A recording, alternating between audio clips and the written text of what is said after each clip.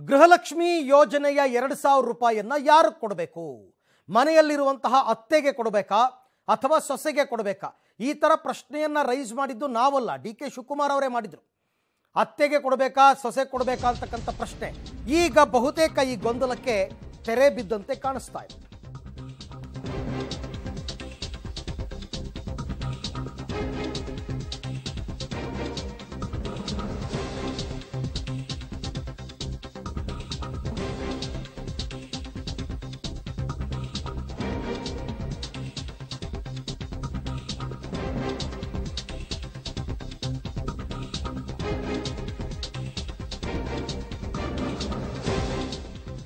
ಗೃಹಲಕ್ಷ್ಮಿ ಯೋಜನೆಯ ಎರಡು ಸಾವಿರ ಅತ್ತೆ ಕೊಡಬೇಕಾ, ಸೊಸೆಗೆ ಕೊಡಬೇಕಾ?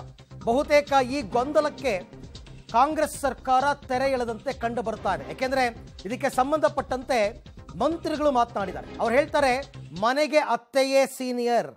ಅತ್ತೆಗೆ ಯೋಜನೆ ಕೊಡುವುದು ನಮ್ಮ ಆದ್ಯತೆ. ನಮ್ಮ ಸಂಸ್ಕೃತಿಯ ಪ್ರಕಾರ ಮನೆಗೆ ಅತ್ತೆಯೇ ಯಜಮಾನಿ.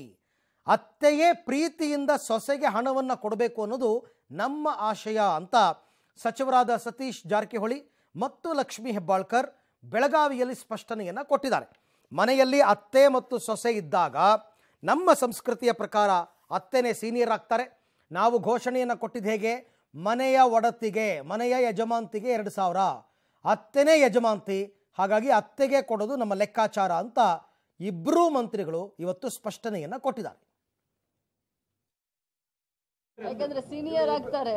ಸೊ ಅತ್ತೆನೇ ಯಜಮಾನಿ ನಮ್ಮ ನಮ್ಮ ಒಂದು ಸಂಸ್ಕೃತಿ ಪ್ರಕಾರ. ಸೊ ಅತ್ತೆ ಕೊಟ್ಟು ಅತ್ತೆ ಪ್ರೀತಿಯಿಂದ ಸೊಸೆ ಕೊಡ್ತಾರೆ ಅಂತ ನಮ್ಮ ಒಂದು ಆಸೆ. ಯಾಕಂದ್ರೆ ಸೀನಿಯರ್ ಆಗ್ತಾರೆ. ಸೊ ಅತ್ತೆನೇ ಯಜಮಾನಿ ನಮ್ಮ ನಮ್ಮ ಒಂದು ಸಂಸ್ಕೃತಿ ಪ್ರಕಾರ. ಸೊ ಅತ್ತೆ ಕೊಟ್ಟು ಅತ್ತೆ ಪ್ರೀತಿಯಿಂದ ಸೊಸೆ ಕೊಡ್ತಾರೆ ಅಂತ ನಮ್ಮ ಒಂದು ಆಸೆ. ಸಮಸ್ಯೆ ಏನಾಗ್ತಾ ಇದೆ ಅಂದ್ರೆ ಅತ್ತೆ ಕೊಡ್ಬೇಕಾ ಸೊಸೆ ಕೊಡ್ಬೇಕಾ ಅನ್ನೋ ಚರ್ಚೆ ದೊಡ್ಡ ಮಟ್ಟದಲ್ಲಿ ನಡೀತಾ ಇದೆ. ಅದಾದ ಅದು ಕಂಡೀಷನಲ್ಲಿ ಬರ್ತೈತೆ. ಫಸ್ಟ್ ಕೊಡೋದು ಅತ್ತಿಗೆ.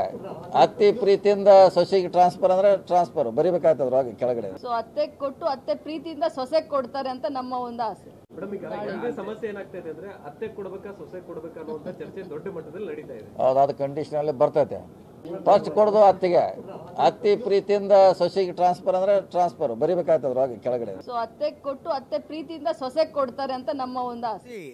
ಇಲ್ಲೇನಾಗುತ್ತೆ? ನಮ್ಮಲ್ಲಿ ಅತ್ತೆ ಮತ್ತು ಸೊಸೆಯಂದಿರು ಅಥವಾ ಸೊಸೆ, ಒಂದೇ ಮನೆಯಲ್ಲಿ ಇದ್ದಂತಹ ಸಂದರ್ಭದಲ್ಲಿ ಈ ಗೊಂದಲ ಮೂಡೋದು ಸಹಜ.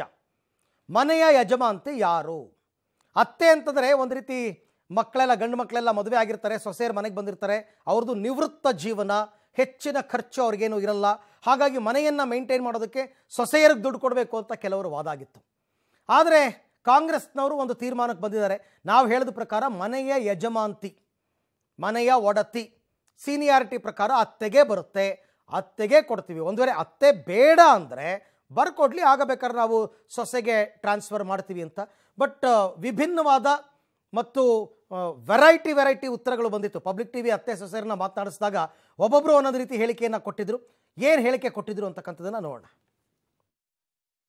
ತೆಗೆ ಕೊಡಬೇಕು. ಯಾಕಂದ್ರೆ ಮನೆ ನಿಭಾಯಿಸ್ರಲ್ಲಿ ಅವರಿಗೆ ಎಕ್ಸ್ಪೀರಿಯನ್ಸ್ ಜಾಸ್ತಿ ಇರುತ್ತೆ. ನಮಗೆ ಇನ್ನ ಎಕ್ಸ್ಪೀರಿಯನ್ಸ್ ಕಡಿಮೆ ಇರುತ್ತೆ. ಎರಡ್ ಸಾವಿರ ರೂಪಾಯಿಂದ ನಾವು ಸಣ್ಣ ಬ್ಯಾಗ್ ಅಲ್ಲಿ ರೇಷನ್ ಆಗಿರ್ಬೋದು, ತರಕಾರಿ ತರಬಹುದು ಅವ್ರಾದ್ರೆ ಎರಡ್ ಸಾವಿರ ರೂಪಾಯಿ ಸ್ವಲ್ಪ ಚೆನ್ನಾಗಿ ಯೋಚಿಸಿ ಅವ್ರು ತಗೊಂಡ್ಬರ್ತಾರೆ ನಿಭಾಯಿಸೋದ ಶಕ್ತಿ ಆಗಿರ್ಬೋದು ಎಕ್ಸ್ಪೀರಿಯನ್ಸ್ ಅವ್ರಿಗೆ ಜಾಸ್ತಿ ಇರುತ್ತೆ, ಅವರಿಗೆ ಕೊಡಬೇಕು. ಸೊಸೆ ಕೊಟ್ರೆ ಒಳ್ಳೇದು. ಏಕೆಂದ್ರೆ ಇಷ್ಟು ದಿನ ನಾವು ಸಂಸಾರ ಭಾರ ಹೊತ್ತು ಸಾಕಾಗಿದೆ ನಮ್ಗೆ. ಮುಂದೆ ಬರೋರು ಅವರು. ಅವ್ರಿಗೆ ಕೊಟ್ರೆ ನಾವು ಸಂತೋಷವಾಗಿ ಹಾಯಾಗಿರ್ಬೋದು.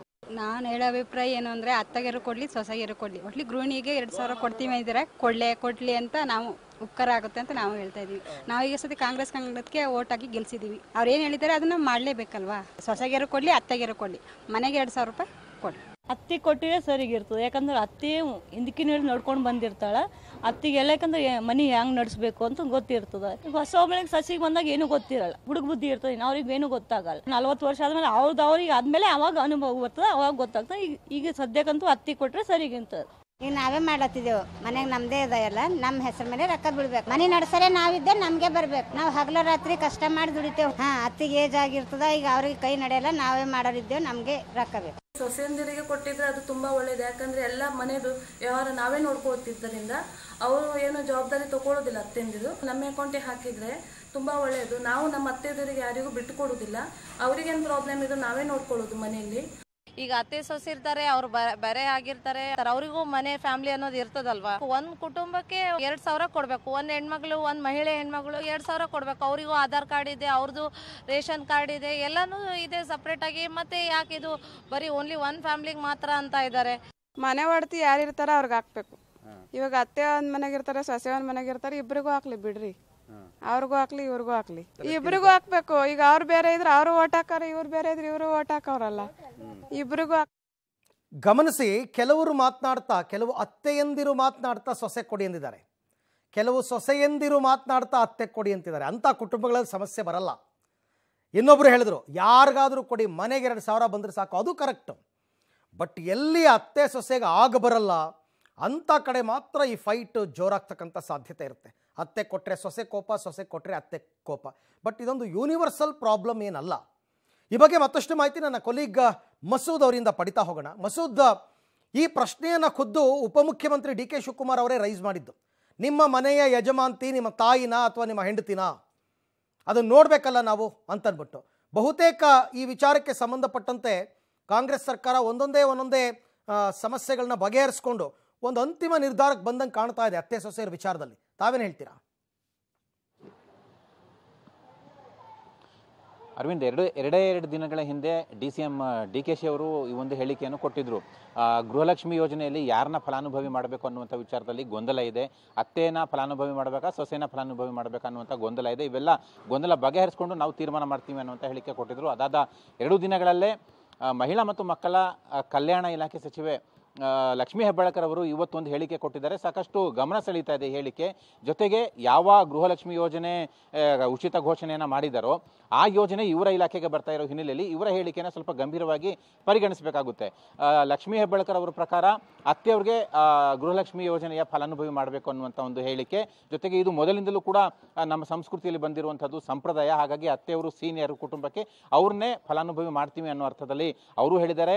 ಸತೀಶ್ ಜಾರಕಿಹೊಳಿ ಅವರು ಕೂಡ ಈ ಹೇಳಿಕೆಯನ್ನು ಕೊಟ್ಟಿದ್ದಾರೆ. ಅಂದ್ರೆ ನಾಳೆ ಎಲ್ಲ ನಾಡಿದ್ದು ಏನು ಕ್ಯಾಬಿನೆಟ್ ಸಚಿವ ಸಂಪುಟ ಸಚಿವ, ಸಂಪುಟ ಸಭೆ ಆಗುತ್ತೋ, ಆ ಒಂದು ಸಭೆಯಲ್ಲಿ ಗೃಹಲಕ್ಷ್ಮಿ ಯೋಜನೆ ಏನಾದರೂ ಘೋಷಣೆ ಮಾಡಿ ತೀರ್ಮಾನ ಮಾಡಿದಾಗ ಯಾರಿಗೆ ಫಲಾನುಭವಿ ಅನ್ನುವಂಥ ವಿಚಾರ ಬಂದಾಗ ಅತ್ತೆಯವರನ್ನ ಮಾಡ್ತಾರೆ ಅನ್ನುವಂಥ ಲಕ್ಷಣಗಳು ಸುಳಿವು ಕೂಡ ಈ ಮೂಲಕ ಇಬ್ಬರು ಸಚಿವರು ಕೊಟ್ಟಿರುವಂಥದ್ದು. ಇದು ಒಂದು ರೀತಿಯಲ್ಲಿ ಜಿಜ್ಞಾಸೆ ಸರ್ಕಾರದ ಮಟ್ಟದಲ್ಲೂ ಕೂಡ ಇನ್ನೂ ಕೂಡ ಮನೆ ಮಾಡಿದೆ. ಈಗ ಅತ್ತೆ ಸೊಸೆ, ಅತ್ತೆ ಅಥವಾ ಸೊಸೆಂದರು ಇರುವಂಥ ಮನೆಯಲ್ಲಿ ಓಕೆ. ಒಂದು ವೇಳೆ ಅತ್ತೆ ಮಾನದಂಡಗಳ ಪ್ರಕಾರ ಏನಾದರೂ ಮಾನದಂಡ ಮಾನದಂಡಗಳನ್ನು ಹಾಕಿದ್ರೆ ಅತ್ತೆ ಉದ್ಯೋಗಸ್ಥರಾಗಿದ್ರೆ ಅಥವಾ ಸರ್ಕಾರದ ಇತರೆ ಸಹಾಯಧನ ಅಥವಾ ಪಿಂಚಣಿಗೆ ಭಾಜನ ಹಾಕಿದ್ರೆ ಆ ಆ ಅತ್ತೆಗೆ ಕೊಡಬೇಕಾ ಅನ್ನುವಂಥ ಒಂದು ಕ್ವಶನ್ ಕೂಡ ಇಲ್ಲಿ ಹುಟ್ಟುತ್ತೆ. ಅಂಥ ಸಂದರ್ಭದಲ್ಲಿ ಮಾನದಂಡ ಏನು ಹೇಳುತ್ತೆ ಅಂತಂದು ಕೂಡ ನೋಡಬೇಕು. ಈಗ ಏನು ಸರ್ಕಾರ ನಿರ್ಧಾರ ಮಾಡುತ್ತೆ ಅದರಂತೆ ನಡೆಯುತ್ತೆ. ಸದ್ಯಕ್ಕೆ ಇಬ್ಬರು ಸಚಿವರು ಹೇಳಿ ಹೇಳಿರೋ ಹಿನ್ನೆಲೆಯಲ್ಲಿ ಸದ್ಯಕ್ಕೆ ಸೀನಿಯರ್ ಅತ್ತೆಯವರು ಅತ್ತೆಯವರಿಗೆ ಈ ಒಂದು ಗೃಹಲಕ್ಷ್ಮಿ ಯೋಜನೆಯ ಫಲಾನುಭವಿ ಮಾಡುತ್ತೆ ಸರ್ಕಾರ ಅನ್ನುವಂಥದ್ದನ್ನು ನಾವು ಅರ್ಥ ಮಾಡ್ಕೋಬೇಕಾಗುತ್ತೆ. ನಾಳೆ ಸಚಿವರ ಜೊತೆನೂ ಕೂಡ ಸಿಎಂ ಚರ್ಚೆ ಮಾಡ್ತಾರೆ. ಜೊತೆಗೆ ನಾಡಿದ್ದು ಕ್ಯಾಬಿನೆಟ್ ಸಭೆ ಇದೆ. ಆ ಒಂದು ಕ್ಯಾಬಿನೆಟ್ ಸಭೆಯಲ್ಲಿ ಸ್ಪಷ್ಟ ಚಿತ್ರಣ ಬರುತ್ತೆ. ಜೊತೆಗೆ ಇತರ ಮಾನದಂಡಗಳ ಅಡಿಯಲ್ಲಿ ಯಾರನ್ನ ಫಲಾನುಭವಿ ಮಾಡ್ತಾರೆ ಅನ್ನುವಂಥದ್ದು ಕೂಡ ಗೊಂದಲ ಮನೆ ಮಾಡಿದೆ. ಒಟ್ಟಾರೆಯಾಗಿ ನಾಳೆ ಮತ್ತು ನಾಡಿದ್ದು ಏನು ಸಭೆ ಇದೆ, ಆ ಸಭೆಯಲ್ಲಿ ಸ್ಪಷ್ಟ ಚಿತ್ರಣ ಸಿಗುತ್ತೆ. ಅರವಿಂದ್. ಈಗ ಉಚಿತ ಕರೆಂಟ್ ವಿಚಾರದಲ್ಲಾಗಿರಬಹುದು ಅಥವಾ ಮಹಿಳೆಯರಿಗೆ ಬಸ್ಸಲ್ಲಿ ಓಡಾಡೋ ವಿಚಾರ ಆಗಿರ್ಬೋದು ತುಂಬ ಷರತ್ತುಗಳನ್ನೇನು ವಿಧಿಸಿದಂಗೆ ಕಂಡು ಬರ್ತಾ ಇಲ್ಲ. ಅಕ್ಕಿ ಕೊಡೋ ವಿಚಾರದಲ್ಲೂ ಕೂಡ ಎ ಪಿ ಎಲ್ ಕಾರ್ಡ್ದಾರರಿಗೂ ಕೊಡ್ತೀವಿ ಅಂತ ಹೇಳಿದ್ದಾರೆ. ಹೀಗಿರಬೇಕಾದ್ರೆ ಈ ಎರಡು ಸಾವಿರ ರೂಪಾಯಿ ಸಹಧನ ಗೃಹಲಕ್ಷ್ಮಿ ಯೋಜನೆ, ಅದಕ್ಕೂ ಕೂಡ ಬಹುತೇಕ ಷರತ್ತುಗಳಿಲ್ಲದೆ ಪ್ರತಿ ಕುಟುಂಬಕ್ಕೂ ಕೊಟ್ಟುಬಿಡೋಣ ಅನ್ನೋ ತೀರ್ಮಾನಕ್ಕೆ ಕಾಂಗ್ರೆಸ್ ಬರಬಹುದಾ ಅಂತ ಮಸೂದ್?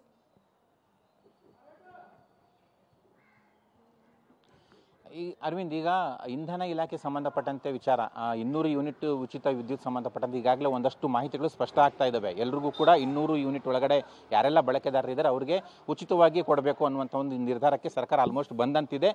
ಸಭೆಗಳಲ್ಲೂ ಕೂಡ ಅದೇ ಮಾಹಿತಿ ಹೊರಗಡೆ ಬಂದಿರುವಂಥದ್ದು ಆದರೆ ಗೃಹಲಕ್ಷ್ಮಿ ಯೋಜನೆಗೆ ಸಂಬಂಧಪಟ್ಟಂತೆ ಜೊತೆಗೆ ಸಾರಿಗೆ ಇಲಾಖೆ ಸಾರಿಗೆ ಇಲಾಖೆ ಸಂಬಂಧಪಟ್ಟಂತೆಯೂ ಕೂಡ ರಾಮಲಿಂಗ, ರಾಮಲಿಂಗಾರೆಡ್ಡಿ ಅವರು ಈಗಾಗಲೇ ಸ್ಪಷ್ಟಪಡಿಸಿದ್ದಾರೆ. ಎಲ್ಲ ಮಹಿಳೆಯರಿಗೂ ಕೂಡ ಸಾರಿಗೆ ಬಸ್ಗಳಲ್ಲಿ, ಸರ್ಕಾರಿ ಬಸ್ಗಳಲ್ಲಿ ಉಚಿತವಾಗಿ ಪ್ರಯಾಣಕ್ಕೆ ಅವಕಾಶ ಮಾಡಿಕೊಡ್ತೀವಿ ಅಂತ.